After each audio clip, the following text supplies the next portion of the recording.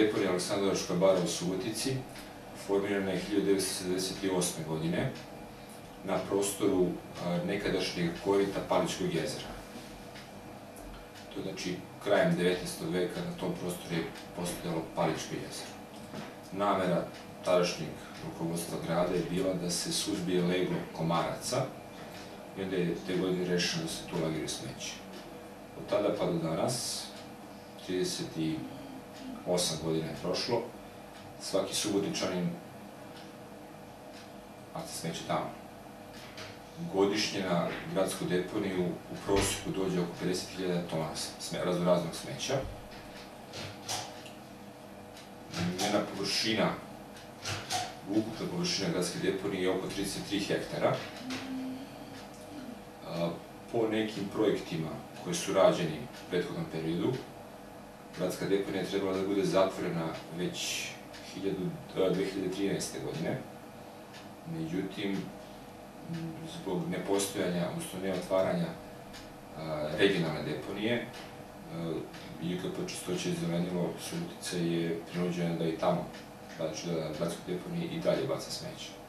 Tako će biti sve dok se ne otvori nova regionalna deponija. Postoji plan koji je sad u realizaciji da digistovni mulj koji dođe sa čistača bude deponovan na našu deponiju i svakog, svakog dana očekujemo da krenemo, krenemo realizaciju sa, sa toga plana.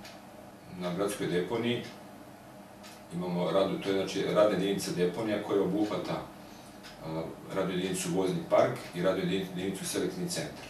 Vozni park se sastoji od vozila autosmećera, autopodizača i otvorenih kamiona. Trenutno imamo 12 raspoloživih autosmećara, 7 raspoloživih autopodizača i 8 otvorenih kamiona sa kojima obavljamo delatnost prikupljanja i deponovanja komunalnog otpada, odnosno smeća.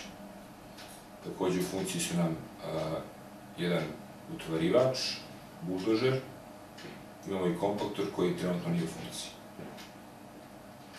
Pošto je postojeći selektivni centar ne zadovoljava određene uslove, u planu je izrada, odnosno ovih dana se već i privodi kraju, završetak projekta novog selektivnog centra, odnosno izgradnje novog selektivnog centra. Imamo već gotov građevinski deo projekta i već 24. se otvaraju ponude za tehnološki, odnosno mašinski deo tog, tog projekta. Tako da računamo da ćemo za nekih 15 dana imati i taj mašinski deo projekta gotov i pretpostavljam da ove godine možemo ući u realizaciju izgradnje novog selektivnog centra. Novi selektivni centar predviđa izgradnju hale za selekciju otpada, dimenzija 30 x 45 metara, koji će veliki deo komunalnog, mešanog komunalnog otpada koji dođe direktno iz smećarskog vozila biti istovaren u halu i kroz tehnološku liniju ćemo dobijati gotov proizvod. Gotov proizvod se sastoji iz bale peta, bale papira, bale najmona ili bale aluminijum, aluminijumske bale, znači od ovoga, od, od, od, od aluminijskih konzerve. Takođe, ta tehnološka linija bi trebala da, da kao proizvod da dobijemo i biomasu koju bi kasnije koristili ili za kompostiranje ili za proizvodnju energije iz biomasa. U okviru te tehnološke linije imamo i još jedan sistem za dobiranje takozvanog RDF-a, to je materijal koji se može ponuditi za, za prodaju cementarama kao goriv materijal u projektu tog novog selektivnog centra postoje i predviđene prostorice, objekti za prikupljanje tog opasnog otpada, onda ćemo moći da ovaj, uđemo u postupak na, nabavke dozvole za prikupljanje opasnog otpada. Tako da nam je to u planu. U planu nam je znači, da imamo dozvolu za prikupljanje električnog i elektronskog otpada, opasnog otpada tipa baterija, ulja, guma, Rad na samoj deponiji radimo u jednoj smeni, radnici skupljaju smeće pet dana u nedelji, izuzev kad su akcije. Onda se, onda se ovaj, to, taj rad pojačava. Prikupljanje smeća ide autosmećarima koji imaju svoje terene, svoje šeme.